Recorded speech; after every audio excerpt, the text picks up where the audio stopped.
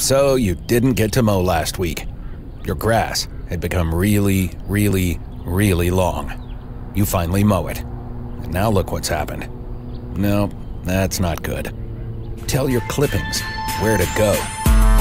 Let the John Deere Mulch Control Kit with exclusive one-touch technology help. This is the easy way to mulch grass. Mulch on with one-touch technology. Extra finely cut clippings like this are small enough to hide and are easy for your lawn to absorb. The clippings are cut and cut again inside the closed chambers with sharp mulching blades, easy for your lawn to handle. Mulch off, mow as usual, and mulch at the same time. Missed a week of mowing? No big deal.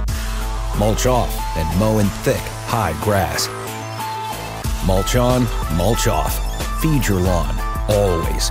Now, right at your fingertips.